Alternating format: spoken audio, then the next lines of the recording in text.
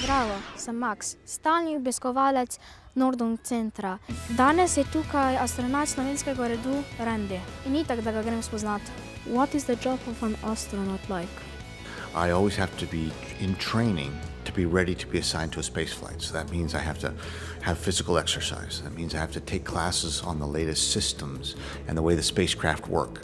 It means I have to be able to be trained to be ready to go do spacewalks. And then my other job um, right now is working on all the spacecraft and everything that leaves low Earth orbit on the Artemis program. What do you explore? Right now on Space Station for 24 years, there's continuously been humans there. and They've been doing science in low Earth orbit, 400 kilometers above the Earth, going 25,000 kilometers per hour.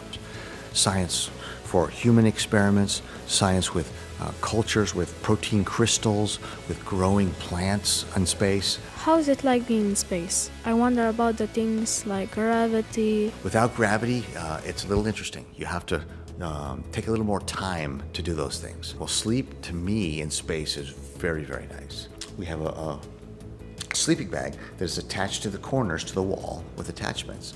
And so all of your muscles, they're not being pushed down by a blanket or gravity's not pushing them down into the, the mattress. It just goes to where it's completely comfortable and there's no effort. And so your body is totally relaxed.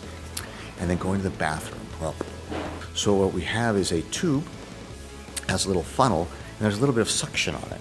Um, and so all you have to do is get it close, and the suction pulls the urine into the tube. Do not try this at home with your parents' vacuum. Space toilet only. I heard you can't see stars in space because the sun is too bright. So during the day, the sun is reflecting off the Earth, and the Earth is so big and blue and bright, kind of like my, my spacesuit here. But when the sun goes down and goes behind the Earth and we're in shadow, wow. To, da sem spoznal astronauta, je izvenzemeljska izkušnja. Adijo!